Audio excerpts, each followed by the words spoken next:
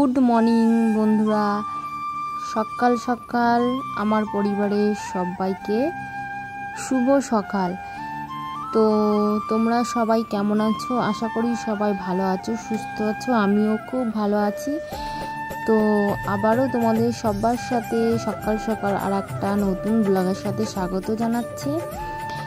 তো আজকে অনেকটাই সকাল হয়ে গেছে, উঠতে একটু বেলা হয়ে গেছে, এখন বাজে সাড়ে ছটা সকাল। তো যেহেতু আজকে বৃহস্পতিবারের সকালটা তোমাদের সাথে শুরু করছি, সেই কারণেই বললাম যে উঠতে অনেকটাই বেলা হয়ে গেছে। তার কারণ বৃহস্পতিবারে জানোই যে অনেক ঘরের কাজকর্ম থাকে, তো ঘর দোর গুছানোর একটা ব্যাপার থাকে, লক্ষ্মীবার বলে কথা। জন্যই সব কিছু কেমন এলোমেলো হয়ে গেছে। তো সকালবেলায় উঠে আগে বাসি থাল বাসন যেটা থাকে আর কি, মেয়েদের নিয়মিত কাজ।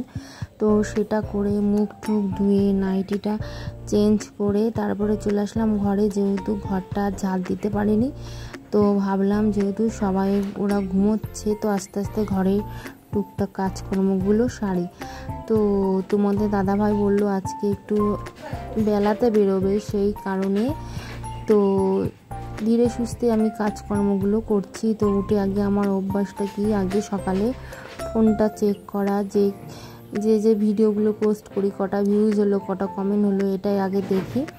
তো দেখে নিলাম, দেখার পরে তো এবার ঘর দৌড় ঝাড় দেওয়ার ব্যাপার আছে। তো চলো আস্তে আস্তে করে এবার ঘরের বাসি কাজকর্মগুলো পরিষ্কার করি। তো প্রথমে কি হলো যে ভাবলাম যে ঘর থেকে শুরু করব। তো তারপরে ভাবলাম একবারে যখন বাইরে চলেই আসলাম ঘুম থেকে উঠে, তো বাইরের কাজটা সেরে তারপরে ঘরের কাজটা করি। তো সব রকমেরই কাজ হয়ে গেছে। তো কাজ বলতে বাকি রয়েছে ঘরের ঘরটা ঝাঁপ দেওয়া। তো যেহেতু তোমাদের দাদাভাই হচ্ছে, একটু পরে বেরোবে, সেজন্য অত চাপ চাপটা নেই। আর এদিকে দেখো, কালকে রাত্রে টমি ঘরে শুয়েছিল।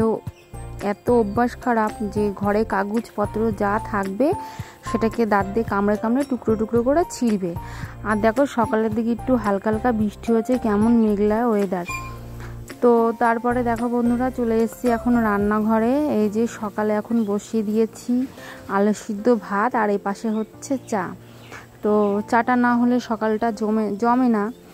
আর ওইদিকে টমি আবার ঘেউ ঘেউ করছে। তো কি বলব তোমাদের সাথে পুরো ব্লগগুলি যে এরকমভাবে স্পিকারে রেকর্ড দিয়ে করতে হয়, তার কারণ কুকুরটা এত চিল্লাই যেহেতু সেই কারণে। আর মানে ডাইরেক্টলি কথাটা বলে তোমাদের সাথে শেয়ার করতে পারি না ভয়েস ওভার দিতে হয়। দেখো, খাওয়ার জন্য বারবার আর যাচ্ছে, যেই আমি গেলাম, চলে গেল। তো তারপরে এই যে চা হয়ে গেছে, আদা দিয়ে চাটা। শরীরটা আজকে ভালো লাগছে না, গলাটা কেমন খুসখুস করছে। আর এদিকে কিন্তু আমি আলু সিদ্ধ ভাত বসিয়ে দিয়েছি সকালের এটা, ঠিক আছে? পরে আবার দুপুরবেলায় করব। তো তোমাদের একটা এখন জিনিস দেখাবো যে তার আগে তোমরা বলো কারা কারা এই জিনিস দুটো খেতে ভালোবাসো। তো আমার কিন্তু খুব প্রিয় জিনিস। তো আজকে তোমার দাদাভাইকে সকালে বলেছি, আজকে নো মাছ, নো মাংস, আজকে সব কিছু বনের জিনিস দিয়ে খাওয়া হবে। তো এই যে দেখো, সকাল সকাল শাশুড়িকে বললাম, তুমি কচুর শাক নিয়ে এসেছে আর এইদিকে নিয়ে এসেছে খারকুল তো এগুলো আমাদের ঘরের পিছনে হয়েছে, আমি লাগিয়েছিলাম, তো অনেক দিন ধরেই ভাবি যে খাব খাব, তো খাওয়ার হয় না, এটা ওটা রান্না হয়, তোমরা দেখতেই থাকো। তো এগুলো কার কার প্রিয় বলো তো? হুম, আমার তো খুব প্রিয়, এখনই দেখে আমার জিভে জল চলে আসছে, আর যখন খেয়েছিলাম তখন তো কি ভালো লেগেছিল।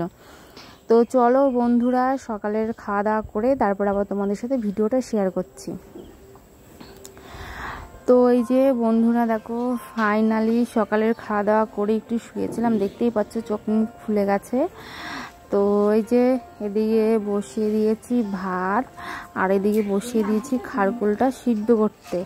ঠিক আছে? তো একটু শুয়েছিলাম, ঘুমিয়ে পড়েছিলাম। তো সেই কারণে উঠতে অনেকটা বেলা হয়ে গেছে। তো এখন বাজে সকাল বারোটা। তো মেয়েকে স্নান দান করে খাবি, স্কুল দিয়ে এসেছি, আর আমি এদিকে রান্নাটা বসিয়ে দিয়েছি। তো কি কি রান্না করব তোমাদেরকে অবশ্যই দেখাবো, কিন্তু ততক্ষণ তোমাদের ব্লগটা কিন্তু পুরো দেখতে হবে। তো ওই যে তারপরে দেখো আমার ভাতটা হয়ে গেছে, খারগোলটাও সিদ্ধ হয়ে গেছে, এবার এটা জল ছেঁকতে দিয়ে দেবো। ওইদিকে সব কিছু কুটে বেছে নিয়েছি।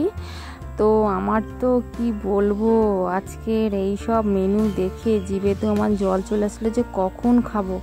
তো এটা কিন্তু অনেক রকমভাবে খাওয়া যায়। কাঁঠালের আটি থাকলে পরে আর এই যে এই ডাটাগুলো কিন্তু চচ্চড়ি হেভি লাগে। তো আর একদিন যখন রান্না করব, তোমাদেরকে অবশ্যই সেটা শেয়ার করব। তো আজকে শুধু পাতাটাকে বাটবো তো ওই যে এবার আমি কড়াইটাকে পরিষ্কার করে নিয়েছি। এবার আমি কচুর শাকটা বসিয়ে দেবো। তো যেহেতু কচুর শাকটা নিরামিষ হবে, যেহেতু তোমরা যারা আমার ব্লগ দেখো সবাই জানো, যেহেতু আমার শ্বশুর শাশুড়ি পেঁয়াজ, রসুন খায় না, সেই কারণে কচুর শাকটা শুধু নিরামিষ করব। আর খারগোল বাটাটা আমাদের দুজনের জন্য করব পেঁয়াজ, রসুন দিয়ে। চলো কচু শাকটাকে নিয়ে আসি। সব কেটে কুটে জল ঝরতে দিয়ে দিয়েছিলাম। ওইদিকে আমার কড়াইটাও গরম হয়ে গেছে। তো এবার কড়াইতে আমি তেলটা দিয়ে দেবো। তো অনেক দিন পর এই কচু শাকটা খাচ্ছি। মাছের মাথা হলে কিন্তু আরও ভালো হয়। ঠিক আছে? তো আজকে বললাম যে মাছ নয়, মাংস নয়, কোনো কিছু নয়। তাই নিরামিষ হবে। আর এখন কিন্তু বর্ষার দিনে মাঠে, বাগানে সব জায়গাতেই কিন্তু এই কচুর শাকগুলো দেখা যায়। তো মাঠের কচুর শাক কিন্তু আরও ভালো আটা হয়, আরও ভালো স্বাদ হয়। ঠিক আছে? তো এই যে দিয়ে দিলাম দেখো কচুর শাকগুলো। তো আস্তে আস্তে করে দিচ্ছি, যেহেতু এইগুলো কড়াই কিন্তু ভরে যায়। আর কিন্তু হয়ে যায় কিন্তু একটুখানি। তো আমি অল্প অল্প দিয়ে নাড়াচাড়া করে করে প্রথমে আগে একটু কমিয়ে নেব, তারপরে আবার দেব। দেখো কত সুন্দর কমে গেল। তো এই যে সব দিয়ে দিয়ে এবার সামান্য একটু জল দিয়ে দেবো। তো আমি একবারেই ফোড়ন দিয়ে দিয়েছি। সিদ্ধও করে নেওয়া যায়, যেহেতু এগুলো কচি শাক, তো সেই জন্য আমি একবারে ফোড়ন দিয়ে নিয়েছি। তো সিদ্ধ করে দিলে না কচু শাকে যে জলটা বেরিয়ে যায়, স্বাদটা কিন্তু চলে যায়। তো আমার মনে হয় যে টেস্টটা চলে যায়। তো আমি কচি হলে আমি বেশিরভাগ এভাবেই আমি রান্না করি। একবারে ফোড়ন দিয়ে দিই এতে আরও আঠা আঠা হয় শাকটা আর ভালো লাগে। তো তারপরে যে এদিকে হলুদটা শেষ হয়ে গেছে, তো আমার যেহেতু সব কিছু সপ্তাহ বাজার আসে, তো সেই কারণে যেটুকু ছিল কোটোর মধ্যে ঢেলে নিয়ে ওর ভিতর দিয়ে দিলাম। একটু হলুদ না দিলে ভালো লাগে না, কেমন সবজি সবজি লাগে। তো এবার একটু ভালো করে নাড়াচাড়া করে তারপরে ঢেকে দেবো, তো কচু শাকটা আস্তে আস্তে হয়ে যাবে। আর ওদিকে আমি হচ্ছে আরও মশলাপাতি আরও করার বাকি আছে, তো করব। তো পেঁয়াজ, রসুন কাটতে হবে এখনও ভাবছি আজকে সোয়াবিন করব, সোয়াবিন রান্না করব। একটা আদা জিরে বাটা দিয়ে হবে, একটা হচ্ছে পেঁয়াজ, রসুন কষা কষা করে রান্না করব। তো চলো ঢেকে দিই। তো এই যে বন্ধুরা, তো সিদ্ধ হওয়ার পরে এখন এরকম হয়েছে, একটু নরম হয়েছে, তো ভাবলাম একটু নেড়ে দিই। আর হচ্ছে যেহেতু আমার একটু প্রবলেম হয়, তার কারণ হচ্ছে যেহেতু আমাকে দাঁড়িয়ে দাঁড়িয়ে রান্না করতে হয় আর বসে বসে তরকারি কুটতে হয়, সেজন্য খুব অসুবিধা হয়। একবার হচ্ছে দাঁড়িয়ে নাড়াচাড়া করতে হবে তরকারিটাকে, আবার গিয়ে বসতে হবে। তো তারপরে এই যে বন্ধুরা, দেখো ফাইনালি কিন্তু আমার শাকটা রেডি হয়ে হয়ে গেছে। আর দেখো কত সুন্দর আঠা আঠা হয়েছে। তো নামানোর আগে একটু মিষ্টি দিলাম। আর এই দিকে বসিয়ে দিয়েছি সোয়াবিন সিদ্ধ। তোমাদের বললাম যে সোয়াবিন রান্না করব। তারপরে এই যে হয়ে গেছে এখন কচুর শাক। তো এইবার কি করব, যে যে খারকোলটাকে সিদ্ধ দিয়েছিলাম সেটাকে এখন বেটে নেব। তো দেখো এই যে পেঁয়াজ, রসুন, কালো জিরে সব দিয়ে এখন বাটছি। তো যেহেতু আমার দু হাতে মশলা ছিল, ক্যামেরাটাকে উল্টোভাবে ধরা হয়ে গেছে সেই জন্য ভিডিওটা উল্টোভাবেই হয়েছে। তো এক হাত দিয়ে করেছি, যাই হোক, তোমরা একটু ম্যানেজ করে দেখে নাও। তো আমার কিন্তু খুব ভালো লেগেছে। তো এই যে তারপরে দেখো সব কমপ্লিট এবার রান্নাটা করব। তো মিক্সি হলে আরও ভালো হয় আরও বাড়তে সুবিধা হয়। তো হাতেই বেটে নিলাম। আর এদিকে আলাদা আগে আদা জিরে বাটা দিয়ে সোয়াবিনটা হয়ে গেছে, সেটা রেখে দিয়েছি, একবারেই ভেজে নিয়েছিলাম। আর এখন বাদ বাকি সোয়াবিনটা করব পেঁয়াজ টিয়াজ দিয়ে। তো প্রথমে তেলটা গরম করে নিয়ে এবার মশলাটা দিয়ে দেবো। যেহেতু আলু আর সোয়াবিনটা ভাজা হয়ে গেছে সেই কারণে। তো সোয়াবিন কিন্তু খুব ভালো লাগে খেতে। তো আমাদের বাড়িতে সেরকম সোয়াবিনটা হয়ই না। তো সোমবারের দিনটা আনা হয়, যেহেতু সোমবারের দিন আমাদের নিরামিষ খাওয়া হয়, সেই দিনই বেশি রান্না হয়। তো আজকে ভাবলাম সব কিছু এরকম রান্না হোক। তো সেই জন্য রান্না হোক করলাম। তো এই যে মশলাটা কষানো হয়ে গেছে। তো আমার কিন্তু এই সয়াবিন কষাটা খেতে খুব ভালো লাগে। তো আমি সেটা খাব, যেহেতু মাংসের মতন করে কষিয়ে নিচ্ছি। আর ওইদিকে টমি যা চিৎকার করছে, কি বলব, সারা দিন একটা পাখি বসলেও ঘেউ ঘেউ, মানুষ আসলেও ঘেউ ঘেউ। তো ওর জ্বালায় আর তোমাদের সাথে কথা বলা হয় না, এভাবেই ভয়েস ওভার দিতে হয়। তো তারপরে এই যে ভালোভাবে কষানো হয়ে গেছে সোয়াবিনটা, এই দেখো একদম কষা কষা, তো আমি আবার দুটো তুলে নিলাম খাব বলে। এবার চলো কষানো হয়ে গেছে, এবার জল দিয়ে দেবো।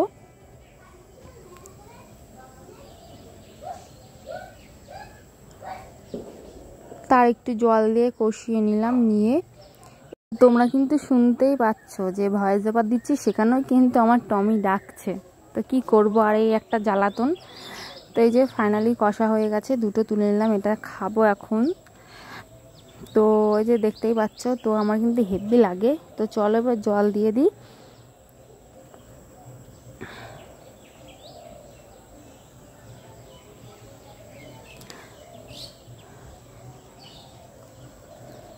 তো এই যে বেশি জল দিইনি, যেহেতু কষা কষা করে রান্না করব সেজন্য। তারপরে ঢেকে দিলাম তরকারিটা হতে লাগুক, আর ওইদিকে আমি একটু টেস্ট করে নিই যে কেমন হয়েছে। তো আমি কিন্তু রান্না করতে করতে এরকম সব জিনিসই একটু করে খেয়ে দেখে নিই যে নুন হলো কি ঝাল হলো। আসলে নুন ঝাল না হলে কিন্তু তরকারি টেস্ট হয় না। তো এই যে ফাইনালি দেখো হয়ে গেছে আমার সোয়াবিনের তরকারি, এবার একটু গরম মশলা দিয়ে দিলাম। দিয়ে এবার নামিয়ে নেব। নামিয়ে এবার খারকোল পাতা, বাটাটা করব।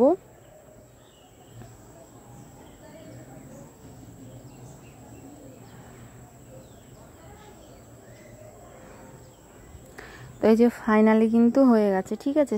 চলো এবার তরকারিটাকে নামিয়ে নিই। এই যে নামিয়ে নিয়েছি। আর এবার কড়াইতে বসিয়ে দিয়েছি। কড়াইটা গরমও হয়ে গেছে, এবার তেল দিয়ে দেবো।